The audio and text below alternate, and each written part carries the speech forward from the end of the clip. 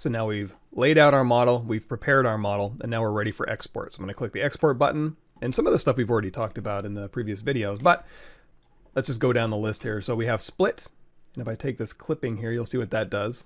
So basically this will just toggle through split is the top, and this will just show you the top areas, or you can show both with the clip line kind of clipping through your model. So you can see the model and the orange supports top and bottom at the same time, and then you just click this again, and now you're just seeing the top. Here we're in object mode, so you can go through here and select these individual objects if you want. Although really what we're doing in the export section is just getting these things prepared for the 3D printer. If you want to see what it's going to send out, you can go over here to slice, and this will put an image over your model. So as you're slicing through your model, you're going to see exactly what's being sent to the printer, which is your object and your supports. Now the supports will be presumably white on export, but what it's doing is it's sending these images. It's going to be several thousand images. So your printer is going to look at these images and then based on your resin settings, it's going to say, okay, I'm, I'm going to go down. I'm going to expose a very thin layer of resin using this image. I'm going to lift up a little bit and then I'm going to go back down just one layer above and expose this next image and expose this next image. And it's going to keep doing that process until everything is exposed and printed out all the way through with your supports.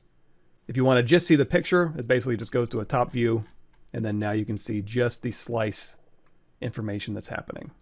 And like we did before, we can go to the simulator, and this will show you exactly how this thing is going to look as it's printing out your file. So it's going to print your base first, and again, those longer exposure times at the bottom, and then it's going to start printing up, and it's going to go down and print, and that's going to lift up a little bit, and then go back down. And as it lifts up, you'll hear a little, kind of little, little plastic tearing sound. Uh, it's not really tearing, it's just your FEP sheet, your plastic sheet that's sitting over your LED screen curing the resin, and then your resin, your cured resin is going to lift off, so it, it detaches from the FEP, and then it's going to go back down and print out the next layer. Detach, go back down and print the next layer. Detach, all the way through the process. Or if you rotate down to the bottom, you're going to see those are your slice layers. So all of this stuff, there's your base being printed, exposed for 20 seconds a piece, and then after it gets past the first three layers, then it's only going to expose for two seconds. And then this is going to be boop, boop, boop, print, print, print, print, print, print, print.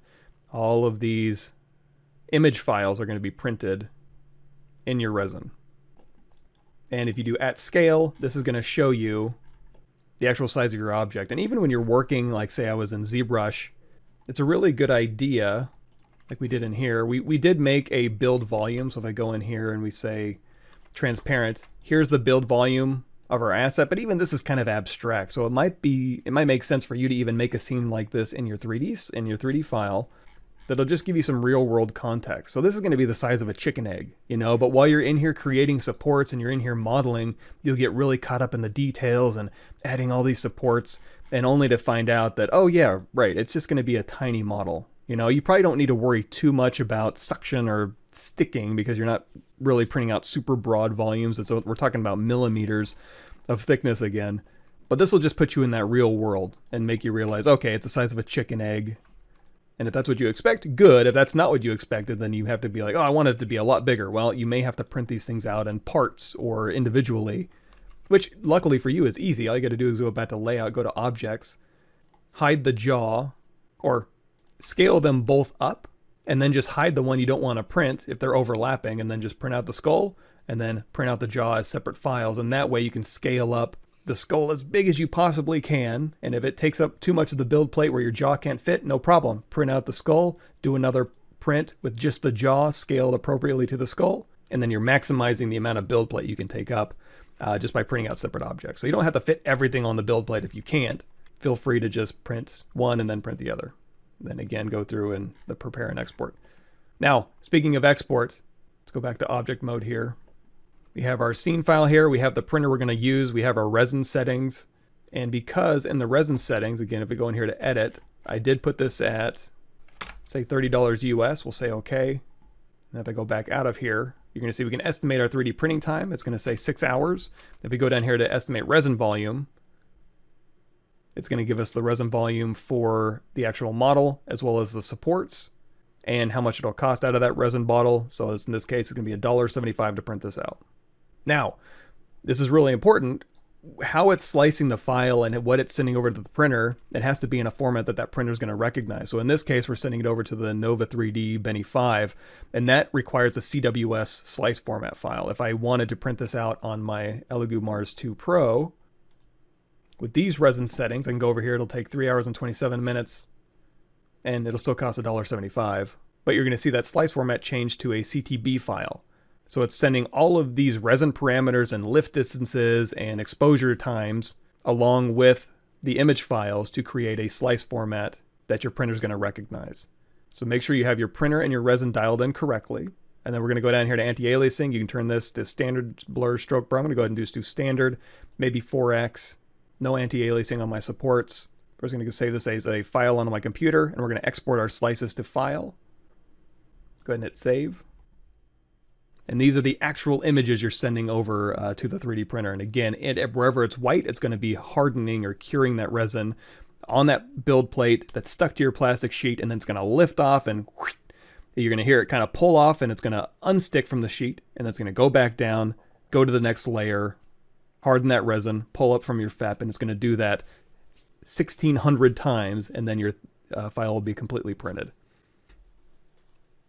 compressing, packaging, and finishing. Uh, it's all finished. You can open the folder where it saved it out as. So there's your CTB file, and this is the file you'll save.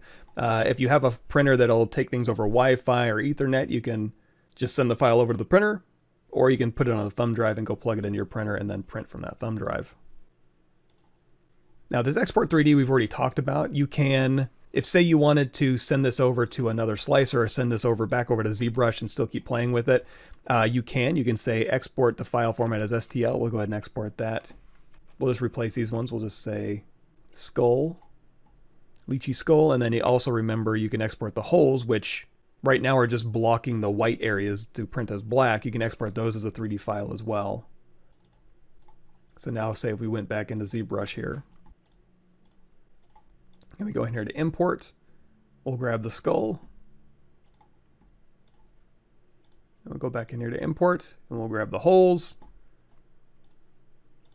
We'll drag the skull out on our canvas, and you see we got the skull with the supports. We can go in here to subtool. We can go in here to append the holes. We'll select the holes, say subtractive, turn on live boolean, and you can't really see it, but so here's the hole back here. If I turn this hole on and off, you're going to see it's going to boolean, boolean through the object. And of course, we want to slice down through here. We can say append a cube. Take this cube and, you know, scale it. We'll hit W so we can move it up above our object here. Scale it so it's big enough to cover the entire object. Set this one to subtractive as well. And then as we push this down through our object, this is again what it's going to look like. It's going through the hollow areas. It's going to hit that hole right there and, you know, print around it. So here's all of your object with booleans turned on so you can see it sliced down through your file. Of course, like I said, this is just geometry, so you could send this to, like I said, another slicer or manipulate in ZBrush, send it back into Lychee Slicer if you want. So you can you can keep bouncing these files back and forth however you'd like uh, and do whatever you want to with them because essentially what you're doing is you're creating geometry that's being converted to images. So if you wanted to hollow your model out in ZBrush, you totally can. If you wanted to create your supports in ZBrush, you totally can, or whatever program you want to use.